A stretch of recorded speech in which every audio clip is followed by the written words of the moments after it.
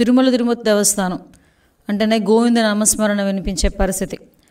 అటువంటి గోవింద నామస్మరణతో ఎప్పుడు ఎల్లప్పుడూ కూడా పవిత్రంగా భావించే తిరుమల తిరుపతి దేవస్థానం తిరుపతి కొండ ఈరోజు రాజకీయ వివాదాలకి రాజకీయ నినాదాలకి నిలయంగా మారటం అనేది చూస్తూ ఉంటే కలియుగ దైవమైన వెంకటేశ్వర స్వామికి కూడా ఈ జగన్మోహన్ రెడ్డి ఈ సైకో ప్రభుత్వం వల్ల తిప్పలు తప్పలేదా అన్నట్టుగా ఈరోజు కనిపిస్తూ ఉంది.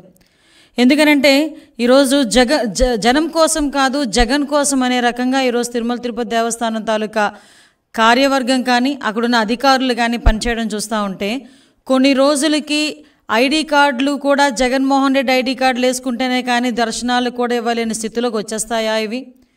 ఎందుకంటే గోవింద నామస్మరణ అనేది ప్రపంచవ్యాప్తంగా ఎంతో ప్రసిద్ధి కాంచిన తిరుమల తిరుపతి దేవస్థానం.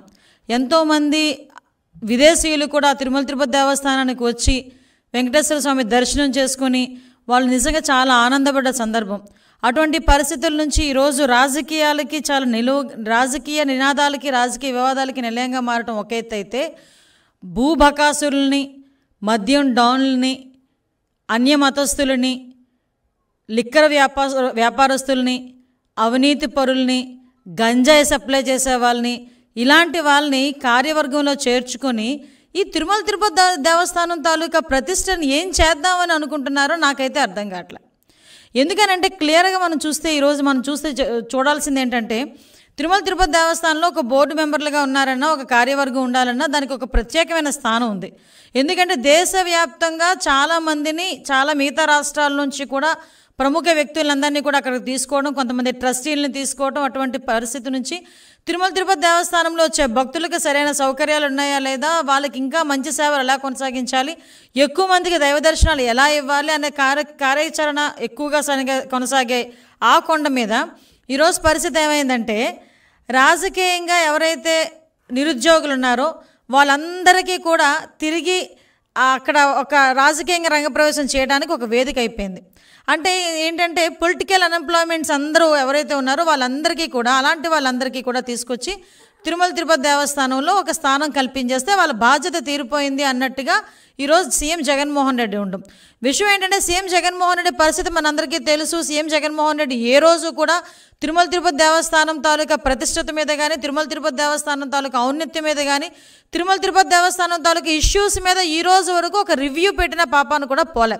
ఓకే దానికంటూ ఒక ట్రస్ట్ ఉంటుంది దానికంటూ ఒక కార్యవర్గం ఉంది దానికంటూ చేసుకుంటారు అనుకునేటప్పుడు ఎలాంటి వాళ్ళని దానికి చైర్మన్గా నియమిస్తున్నారు ఎలాంటి వాళ్ళని వాళ్ళ కార్యవర్గంలో నియమిస్తున్నారు అన్న సంగతి అయినా మినిమం చూసుకోవాల్సిన బాధ్యత మినిమం దాన్ని కాపాడాల్సిన బాధ్యత ముఖ్యమంత్రి స్థాయిలో ఉన్న జగన్మోహన్ రెడ్డికి ఉందా లేదా అని నేను అడుగుతున్నా.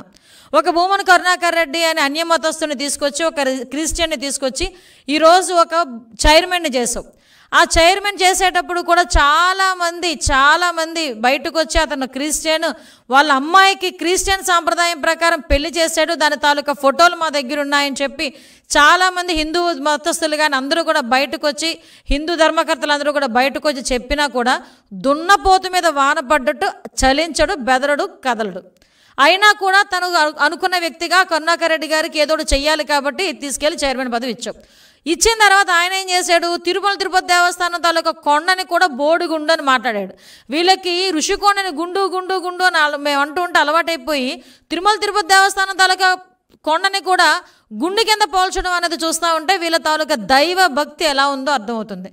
ఎవరైనా వర్క్ ఈజ్ వర్షిప్ అంటారు. మన తాలూకా వర్క్ని దైవంతో భావించాలి. అటువంటి దైవాన్నే పని కింద భావించే వ్యక్తి ఆ దైవాన్ని ఇంకెంత దైవంగా భావించాలో ఒకసారి మనం ఆలోచించుకోవాలి. కానీ వీళ్ళు ఎంత తేలిగ్గా తీసుకుంటున్నారంటే ఆ కార్యవర్గంలో ఒక్కొక్కరిని చూస్తానండి. జాతి రత్నాలు ఉన్నాయి అందులో. నిజంగా ఇరవై నాలుగు మంది ఇరవై నాలుగు రత్నాలు. ఆ ఇరవై నాలుగు మందిలోని ఒక లిక్కర్ డ్యామ్ డాన్.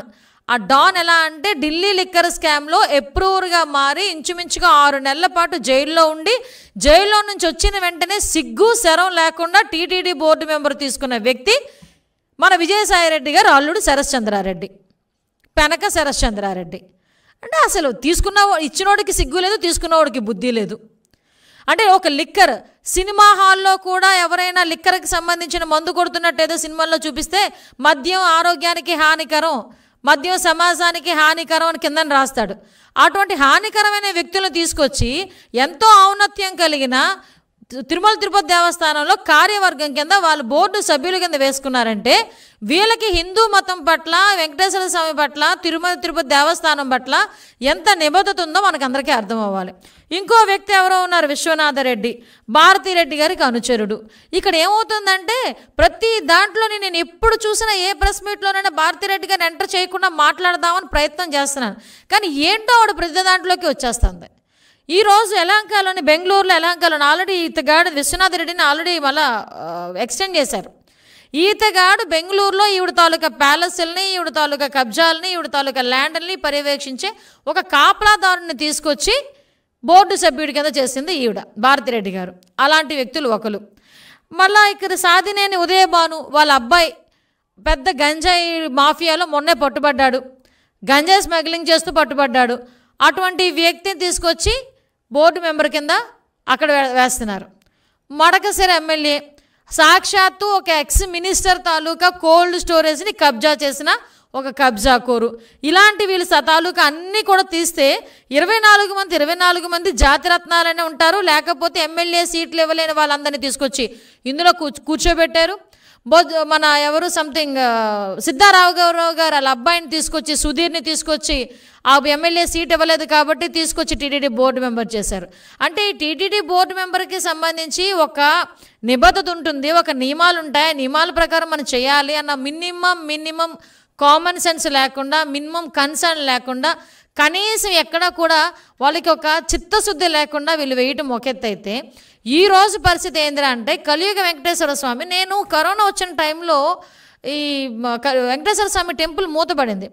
నేను అనుకున్నాను ఇదంతా జగత్మాయ అనుకున్నాను. తర్వాత అర్థమైంది ఇదంతా జగన్మాయ అని. ఎందుకనంటే నాకు తెలిసి నాకు ఊహ తెలిసే కాదు బిఫోర్ కూడా ఏ రోజు ఎక్కడా కూడా వెంకటేశ్వర స్వామి మూతపడిన మూ టెంపుల్ మూతపడిన సందర్భం ఎక్కడ కనిపించలే. కానీ ఇతగాడు అతి పెద్ద ఐరన్ లెగ్. అతి పెద్ద ఐరన్ లెగ్ మామూలు ఐరన్ లెగ్ కాదు.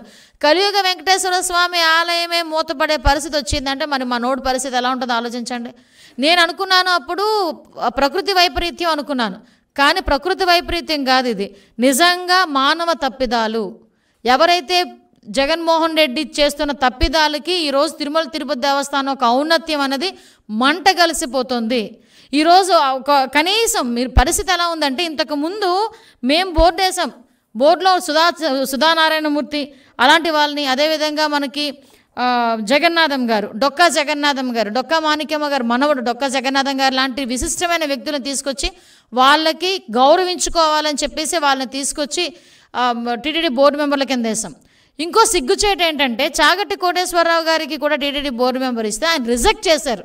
అంటే ఇతని కాడ ఇతని తాలూకా వ్యవస్థలో పని చేయలేక రిజెక్ట్ చేసిన పరిస్థితి కూడా మీకు గుర్తు చేయాలి ఈరోజు ఎందుకు ఈ పరిస్థితి అంతా వస్తుంది? ఎందుకు ఈ దిక్కుమాలిన కార్యవర్గాన్ని అంతటిని తీసుకొచ్చి పెట్టి ఈరోజు ప్రజల తాలూకా భా- భావోద్రేకాల మీద వాళ్ళు ఎందుకు పుసుగొలు ఊసుగొలుపుతున్నారు? నేను క్లియర్గా చెప్తున్నా ఎందుకంటే ఒక ఒక సెంటిమెంట్ వెంకటేశ్వర స్వామి అనేసరికి ఒక సెంటిమెంట్ కలియుగ దైవం అనేసరికి ప్రపంచవ్యాప్తంగా ఉన్న చాలా మందికి ఒక సెంటిమెంట్ ఆరాధ్య దైవం. అటువంటి ఎక్కడ అమెరికాలోని కూడా ఈరోజు వెంకటేశ్వర స్వామి టెంపుల్స్ కట్టుకొని ఆరాధింపబడుతున్న పరిస్థితి ఈరోజు కనిపిస్తూ ఉంది. అటువంటి సిచ్యువేషన్స్లో ఈ యొక్క దిక్కుమాలిన కార్యవర్గాన్ని ఏర్పాటు చేసుకుని దాని తాలూకు ఔన్నత్యాన్ని మంటగలుపుతున్నారు. ఎగ్జాంపుల్ ఏంటంటే ఇలాంటి ఇలాంటి కార్యవర్గంలో ఇలాంటి సభ్యులు ఉండటం వల్ల వచ్చే నష్టాలు ఏంట్రా అంటే కర్రల ఎపిసోడ్. సింపుల్గా చెప్పాలంటే కర్రల ఎపిసోడ్. అరే నీకు ఈరోజు నేను మీకు ఒక విషయం కూడా చెప్పాలి. ప్రెస్ ద్వారా చెప్పాలనుకున్నా ఇదే సందర్భం కూడా. ఇలాగే ఒక చిరుతుపులు వచ్చి ఒక చిన్నపిల్లని చంపేసి వెళ్ళిపోయింది నడకదారిలో అంటే చాలామంది అయ్యో పాపం అని వెంటనే ఎందుకు ఇలా జరుగుతున్నది? దానికి ఎలా ఎలా దాన్ని కంట్రోల్ చేయాలి అన్న కాన్సెప్ట్ మీద ఏ అధికారిని ఆలోచిస్తారు? ఏ అధికారి ఆలోచన ఆలోచన చేసేసారంట వీళ్ళు? కార్యవర్గంలో కూర్చుండిపోయారంట. డిస్కస్ చేసేసి పెద్ద పెద్ద ఐఏఎస్ ఆఫీసర్లతో డిస్కస్ చేసేసి వచ్చిన అవుట్పుట్ ఏందిరా అంటే వచ్చినోడికి కర్రలు ఇస్తారట కర్రలకే పులులు సింహాలు ఆగిపోతాయి అనుకుంటే ఈరోజు ప్రతి ఒక్కడి చేతిలోని కర్రే ఉండాలి రాష్ట్రంలో. ఎందుకో చెప్పనా? మీ తాలూకా జగన్మోహన్ రెడ్డి మాట్లాడితే పుల్లలతోనే సింహాలతోనే మీరు కూడా పోలుస్తూ ఉంటారు. ఈరోజు మేము కర్ర ఆ వాటికి కర్రలు ఉపయోగపడతాయి కానీ నిజమైన పులులకి కర్రలు భయపడవయ్యా. అయినా కర్రల కాన్సెప్ట్ ఏంటండి? నాకు అర్థం కావట్లే. అసలు నిజంగా ఒక సామాన్య భక్తుడు నాతో మాట్లాడుతున్నప్పుడు అన్నాడు అమ్మ ఈ కర్రల కాన్సెప్ట్ ఏంటి? కర్రల వల్ల ఎటువంటి ఉపయోగం ఉంది? కర్రలతో చిరుతుపులను మనం ఎలాగ పై బయటికి పంపిస్తాం? ఎలాగ అదరగొడతామని దాని బదులు టీడీడీలో ఉన్న డబ్బులతోని అటు ఇటు కంచి వేయించవచ్చు కదా ఒక ఒక ఫినిషింగ్ వేయించవచ్చు కదా అని ఒక సామాన్యమైన వెంకటేశ్వర స్వామి భక్తుడి దగ్గర నుంచి వచ్చిన ఒక సూచన. అంటే ఆ మాత్రం ఇంగిత జ్ఞానం కూడా ఇరవై నాలుగు గంటలు కొండ మీదే ఉండి కొండ మీద ఆ కార్యవర్గంలో ఉండి ఆ కొండ మీద భక్తులు ఎంతమందిని చూసి ఇక భక్తులు ఇంతమంది అంటే ఎలా అభివృద్ధి చేయాలన్నది ఐఏఎస్ ఆఫీసర్లు అందరూ కలిసి కూర్చొని మాట్లాడుకుంటాను ఇటువంటి సందర్భంలో కూడా మీకు రాని ఆలోచన బాధపడ్డ ఒక భక్తుడికి వచ్చింది. దాని గురించి మాట్లాడండి రా అంటే మాట్లాడరు. అసలు ఎందుకు ఈ పురులన్నీ వచ్చినాయి? ఏ తీగలాగితే డొంగ కదిలినట్టుగా ఎర్రచందనం విషయం గురించి అటవీ ప్రాంతాన్ని అంతటిని మొత్తం అంతా ధ్వంసం చేసేస్తున్నారు. ఈ అడవి మృగాలు ఎటెల్లాలో తెలియక తిన్నగా వచ్చి ప్రజల మీదకి పడుతున్నాయి. ఇది ఈరోజు పరిస్థితి. అటువంటి పరిస్థితుల నుంచి మీరు ఎలా కాపాడతారు ప్రజల్ని అని అడిగితే కొన్ని రోజులకండి వీళ్ళ తాలూకా ఆలోచన వీళ్ళ తాలూకా దూరదృష్టి అంటే ఏ దూరదృష్టి అంటే దాన్ని ఏమంటారంటే విధ్వంసానికి వచ్చే దూరదృష్టి. అటువంటి దూరదృష్టి ఎలాంటిదంటే కొన్ని రోజులకి నడక మార్గం కూడా పుల్లు వస్తున్నాయి కాబట్టి ఆపేస్తామంటారు. ఆపేసినా మనం ఆశ్చర్యపోవక్కర్లేదు. మీరందరూ కొండలు అటువంటి మొక్కుబడులు ఏమీ లేవు అని మాట్లాడినా కూడా మనం ఆశ్చర్యపోవక్కర్లేదు ఈరోజు. ఎందుకంటే అటువంటి మనుషులు ఉన్నారు పైన. ఒక దైవం అంటే తెలియదు దైవికం అంటే ఏంటో తెలియదు ఒక భక్తి అంటే తెలియదు డబ్బు డబ్బు డబ్బు ఈ డబ్బు వ్యవహారంలో ఎంతవరకైనా వెళ్తామనుకున్న మనుషులు మాత్రమే ఆ కార్యవర్గంలో ఉన్నారు. అటువంటి ఈరోజు తిరుమల తిరుపతి దేవస్థానం తాలూకా పరిస్థితి ఈ రకంగా తయారవటం నిజంగా నిజంగా ఏ ఏ జనంలో చేసుకున్న దురదృష్టం కింద ఆంధ్రప్రదేశ్ వాసులు తెలుగు ప్రజలందరూ కూడా అను ఆలోచించాల్సిన అవసరం ఎంతైనా ఉంది. విషయం ఏంటంటే దీని మీద కూడా కేంద్రం కూడా దృష్టి పెట్టాలి. ఈరోజు నిజంగా చిత్తశుద్ధి ఉంటే జగన్మోహన్ రెడ్డికి ఒక్కసారి అది రీషఫిల్ చేయాలి. లేదంటే కార్యవర్గం మీద ఒక్కసారి అతను కూర్చోవాలి. అసలు ఏం జరుగుతుందన్న దాని మీద మాట్లాడాలి. అంటే టాప్ టు బాటమ్ చూస్తే తిరుమల తిరుపతి దేవస్థానంకి వెళ్తే భక్తులు కర్రలు ఇచ్చుకొని పులులను కొడతారో లేదో తెలియదు కానీ జగన్మోహన్ రెడ్డి ఎంత కో బ్యాచ్ కనిపిస్తే అదే కర్రలు ఇచ్చుకొని జగన్మోహన్ రెడ్డిని కొట్టే పరిస్థితి అయితే కనిపిస్తుంది. చివరగా ఒక మాట కలియుగ వెంకటేశ్వర స్వామి కలియుగ దైవంతో పెట్టుకుంటే ఏం జరుగుతుందో అతనికి చాలా బాగా తెలుసు. అతనికి చాలా బాగా తెలుసు. కాబట్టి నేను మళ్ళీ గుర్తు చేయక్కర్లేదు. మళ్ళా కలియుగ వెంకటేశ్వర స్వామితోనే పెట్టుకుంటున్నాడు స్వామి ఈయన. మరి ఆ స్వామి ఏం చేయాలో యాజ్ ఎర్లీ యాజ్ పాసిబుల్ చేస్తే కనుక ఈ రాష్ట్రం బాగుపడుద్ది దేశం బాగుపడుద్ది కనీసం వెంకటేశ్వర స్వామి తాలూకా ఔన్నత్యమైన పెరిగిద్ది.